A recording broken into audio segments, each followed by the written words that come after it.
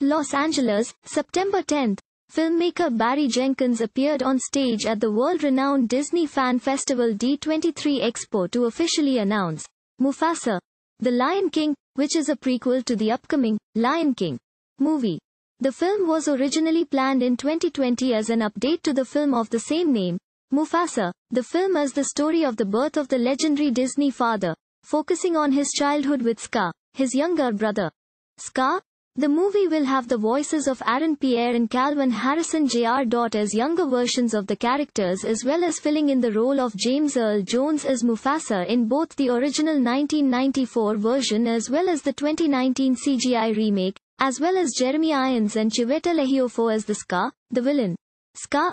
In addition to announcement of the title, an exclusive footage of the film was shown to attendees of the D23 exhibition, as reported by Variety. The film began with Rafiki, John Kani, telling the story of Mufasa's story to young cubs and revealed that the lion was an orphan cub that was forced to travel the world by himself until he was able to become the king of Pride Rock.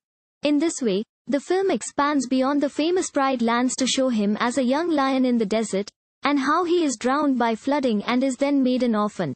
In this spot, the lion was born, but without even a drop of nobility in his blood. Rafiki narrates, the lion who would alter our lives for good forever. While it was short, the video also featured Billy Eichner's Timon, in a meta joke tag for the video. Wait wait wait, do I not belong in the story? I don't feel included. The Lion King is considered to be one of the most adored Disney films of ever, with the original remaining an extremely acclaimed classic making more than $960 million worldwide. The remake for 2019 which substituted the 2D art style of the first with more realistic CGI animal images received mixed reviews from critics, but was more successful than the original with a record-ing $1 billion at worldwide box office. Mufasa is Jenkins' third feature film after directing the Oscar award-winning Moonlight, and, if Beale Street Could Talk, uh, the release date for the film has not been set yet. DC 888 trillion 11 billion 110,888 Los Angeles, September 10. Filmmaker Barry Jenkins appeared on stage at the global Disney fan event D23 Expo to officially announce Mufasa, The Lion King, a new prequel to the 2019 Lion King film. Originally announced in 2020 as a sequel to the 2019 film, Mufasa tells the origin story of the iconic Disney father, exploring his childhood growing up with his brother Scar. The film will feature the voice of Aaron Pierre and Kelvin Harrison Jr.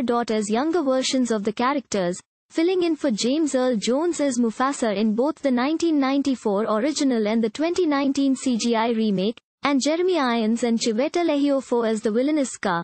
In addition to announcing the title, exclusive preview footage of the film was shown to the audience of the D23 Expo.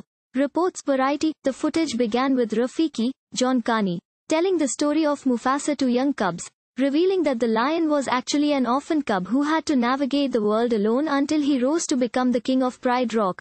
As such, the film goes beyond the iconic Pride lands to show him as a cub in a desert, where he is swept away by a flood and becomes an orphan.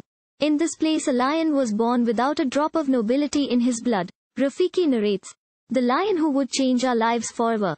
Although brief, the footage also included narration from Billy Eichner's Timon, in a meta joke tag for the footage.